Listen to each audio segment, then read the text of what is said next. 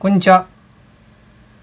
古いデータになりますが、価格 .com で、格安スティム大手携帯キャリア満足度ランキング2019が発表されていました。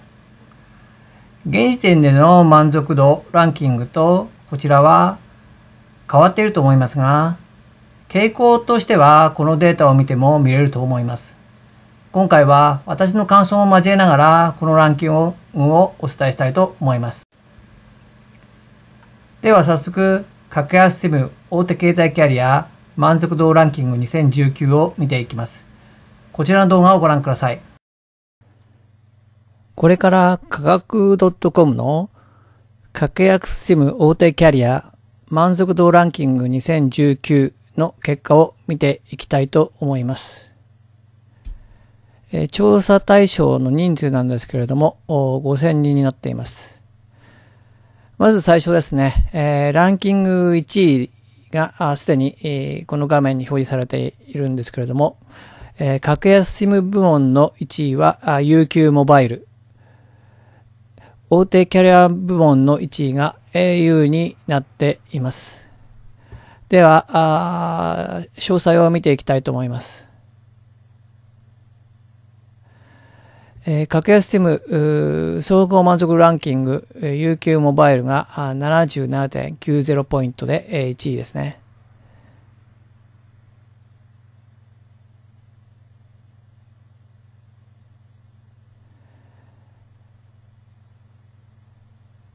えっ、ー、と、月々の料金なんですけど、一番多いのが4000とか3000円ぐらいになってますね。えっと、利用データ量に関しては、あ3ギガとか2ギガが多いです。で、利用端末は、あ Android が多いです。あと、理由が、あいろいろ書いてありますね。で、2位が、あ IIJ ミオですね。えー、76.19ポイント。えー、利用している端末はやはり Android が多いですね。で、えー、契約は 3GB 未満が一番多いですね。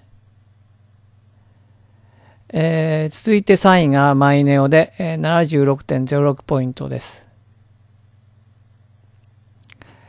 えー、月々の料金は2000円未満。あとは、あ利用データ量が 3GB 未満が一番多いですね。で、利用端末は Android が比較的多いですね。まあ iPhone と半分、半分に近いですけれども。で、続いて4位が楽天モバイルで74.69ポイント。5位がイオンモバイルで74.53ポイントとなっています。えっと、1位がですね、えっと、77.90ポイントですから、1位と5位の間のポイントの差が5ポイントですから、そんなに大きな差はない感じですね。で、えー、っと、それぞれのランキング細かく見ていくと、月々の支払い料金の満足度ランキングが、マイナイオが1位になっています。で、通話料金に関しては UQ モバイルが1位。えー、事業者に対する信頼性に関してはマイネオが1位。通信速度に関しては UQ モバイルが1位。えー、サポートに関してはマイネオが1位となっています。こう見ていくと、えー、UQ モバイルは、トータルでは1位なんですけども、毎年もですね、えっ、ー、と、人気がありますね。総合では3位ですけれども、結構人気がある感じがします。えー、続いて、えー、大手携帯キャリアの総合満足度ランキングなんですけども、1位が au で、えー、69.59ポイントとなっています。で、えー、月々のスマホ代金ですけども、えー、9000円以上っていう人が一番18.4%で一番多いですね。えー、スマホの場合ですね。で、ガラケーの場合だと2000円未満。あと、利用データ量ですけれども、8GB 以上が多いですね。あとは、あそれに加えて 1GB 未満と、ほとんど使わない人が多いです。で、利用している端末なんですけれども、iPhone が多いですね。46.1%です。えー、格安 SIM の場合は、Android が多かったんですけど、逆に大手キャリアの au の場合は iPhone が多いです。あと、ネット回線とセット割引いいですね。au スマートバリューを利用している人が24.2%、ほぼ半分います。あと au セット割と合わせると30%近くが何かの割引を使っているということですね。えー、次、大手キャリアの第2位が、あドコモで68.06ポイントになっています。えー、こちらもですね、やはり9000円以上、月々の料金9000円以上って多いですね、スマホの場合だと。ガラケーの場合はやはり、えー、2000円未満が一番多いんです。で、利用データ量も、先ほどの au と同じで 8GB 以上が一番多くて、次にはあ 2GB 未満となっています。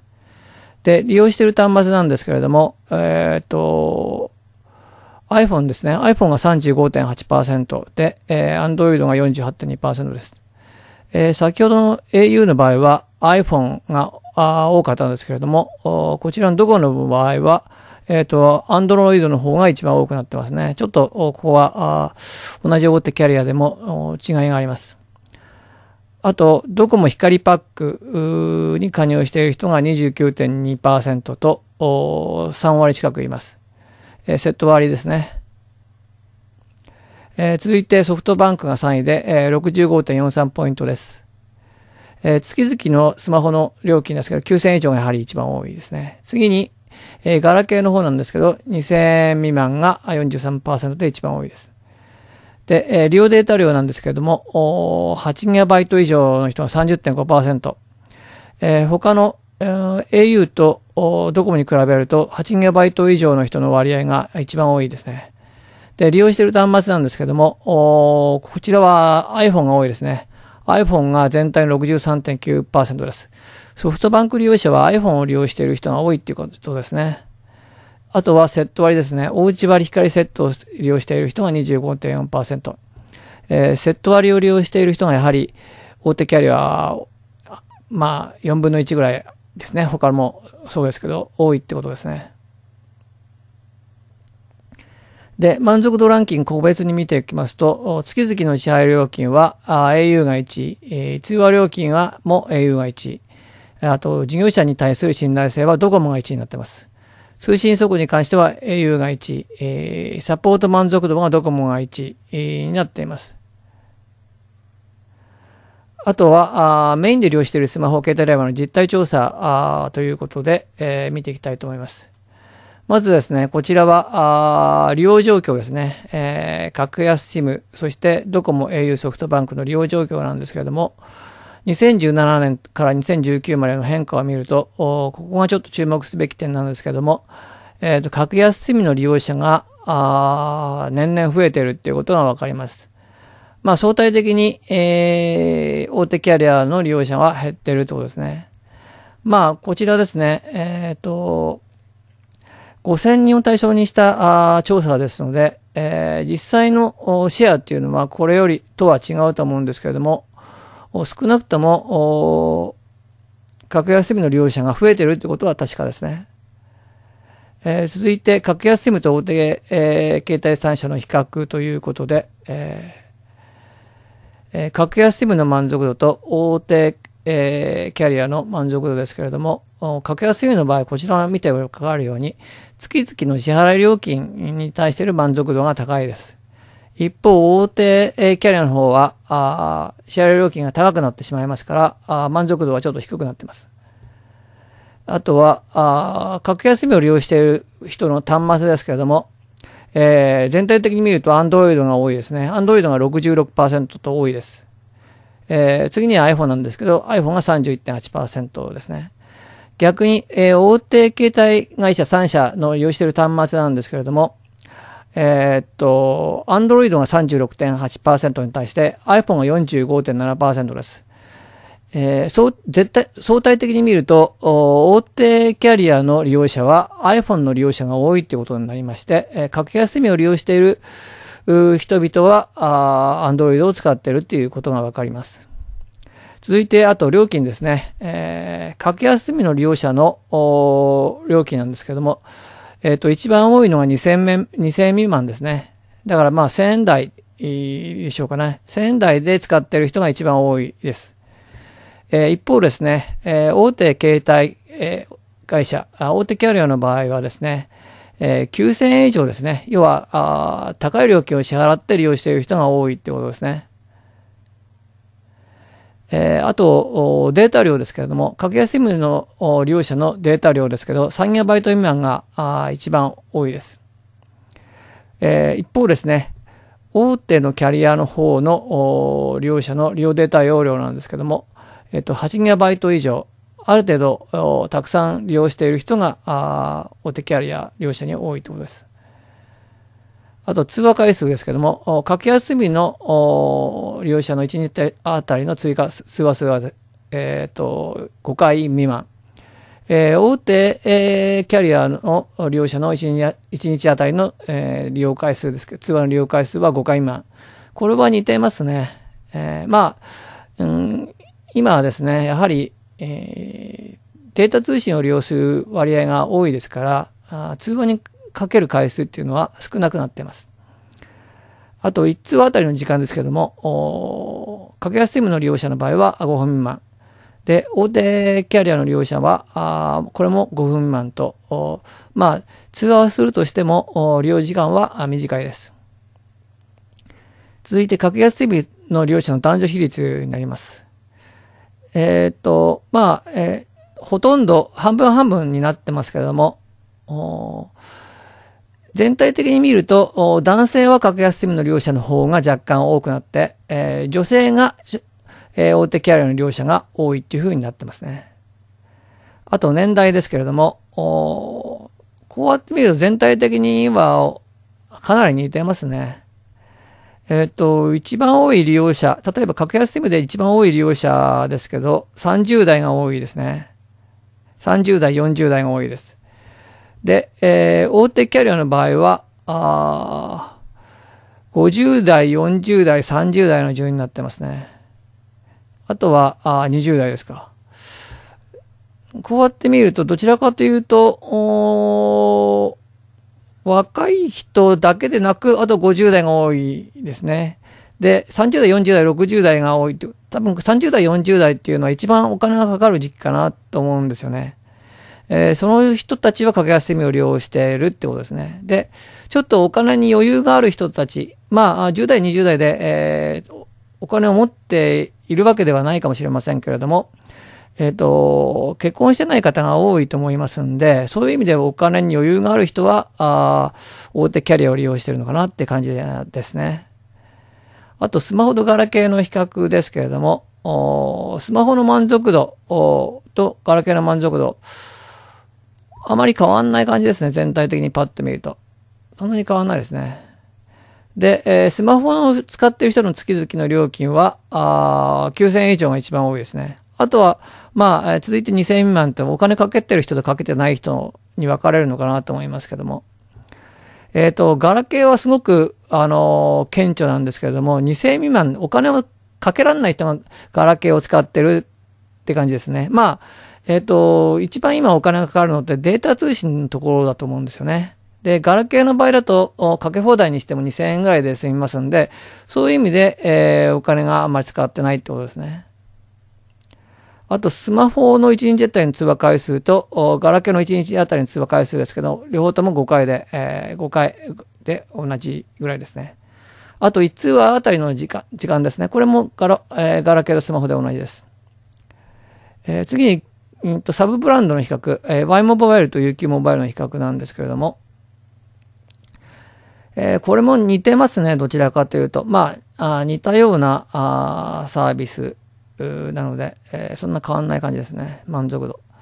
あと、月々の料金ですけども、これもそれほどは変わんないですね。えっ、ー、と、Y モバイルの場合は、あ4000未満が一番多くて、次3000、5000円となっています。UQ モバイルは4000円、3000円、2000円となってますね。UQ モバイルを使っている人の方が、あ月々の料金は安めになってますかね、多少。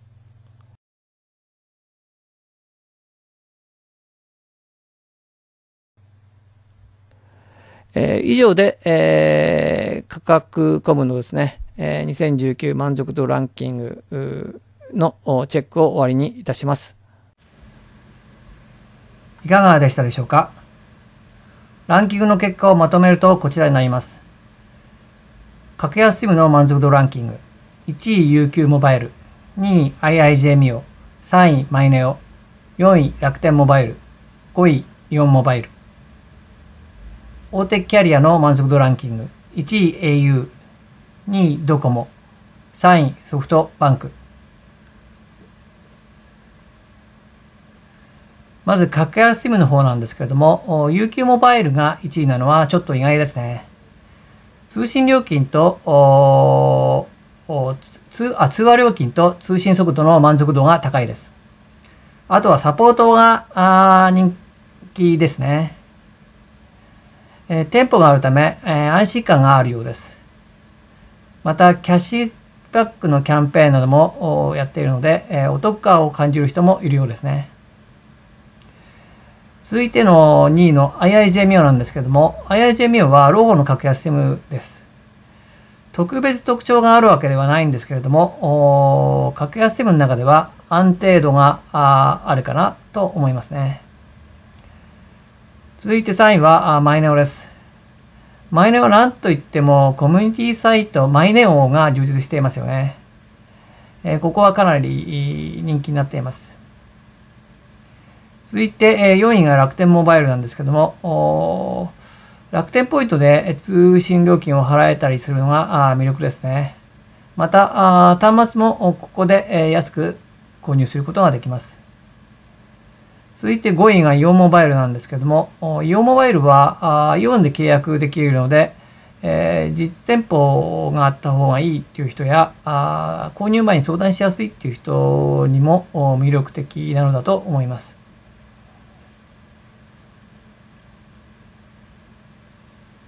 えー、大手キャリアの方なんですけれども、1位はあ au になってますけども、他のですね、ドコモやソフトバンクとのポイント差はそれほどないので、えー、まあ、甲乙つけがたいって感じじゃないでしょうかね。えー、そんな感じがします。あと、全体を通して言えることなんですけども、こちらになります。大手キャリア利用者は、格安 SIM 利用者より通信コス通信コス通信にコストをかけている。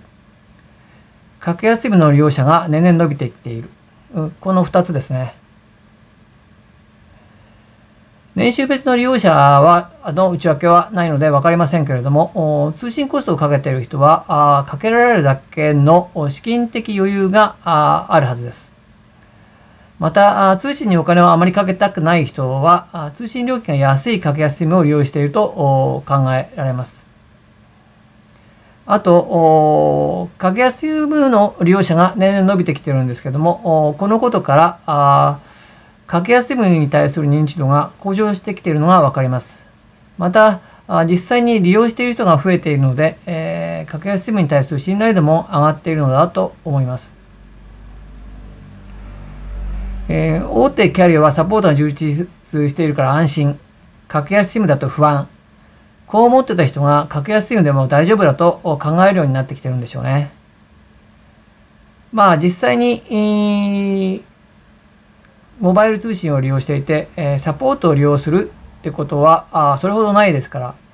ただ、あやはり、不安な人に関しては大手キャリアを使い続けていると思います。あと、感想なんですけれども、やはり格安 SIM でも評判や安心を気にする人が多いように思いますね。えその証拠にえ UQ モバイルとマイネオが1位と3位です。この2つっていうのはどちらもテレビの CM などでもよく見かけるような名前です。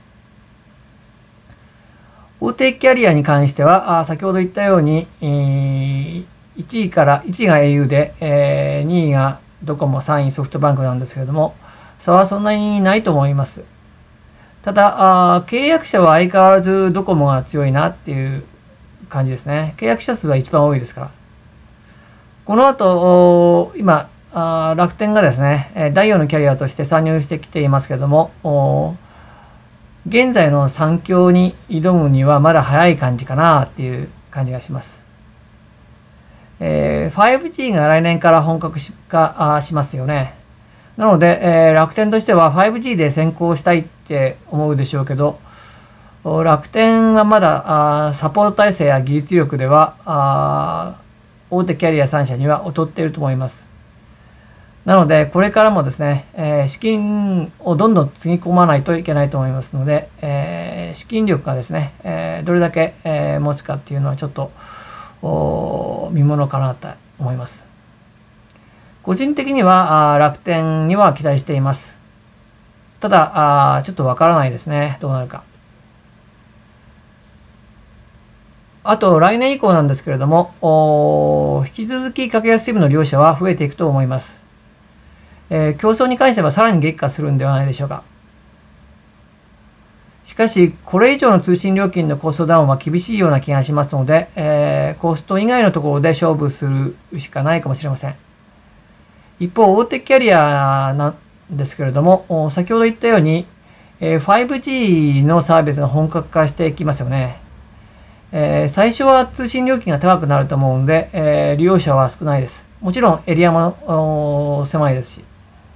ただ通信エリアが徐々に増えていったり、えー、魅力的な新しいサービスですね。5G ならでのサービスがどんどん出てくることによって、えー、利用者は増えていくと思いますので、通信料金がどんどん安くなって、えー、一気に、利用者が増えるっていう可能性も予想されます。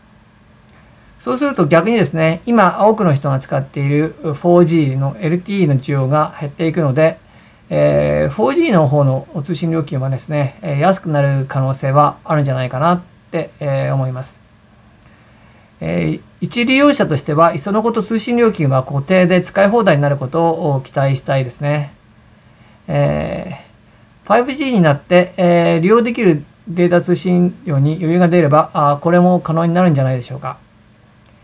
えいずれにしても2020年以降、モバイル通信業界は、大きな変化がやってきそうな気がしています。